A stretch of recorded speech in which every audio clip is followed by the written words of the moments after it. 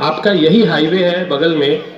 मुझे लगता है हज़ारों ट्रक शराब पास होता था पहले। एकदम ऑफिशियली पास होता था। दुनिया की कोई ताकत उसको नहीं रोक सकती थी।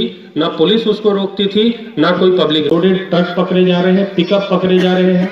आपका यही प्रखंड और आपका पंचायत रहा होगा। बहुत सारी शराब की दुकानें रही होंगी। किसी को भी गाली दे देता था। घर की बच्चियाँ महिलाएँ डर लगता था उनको जाने से कि पता नहीं कौन शराब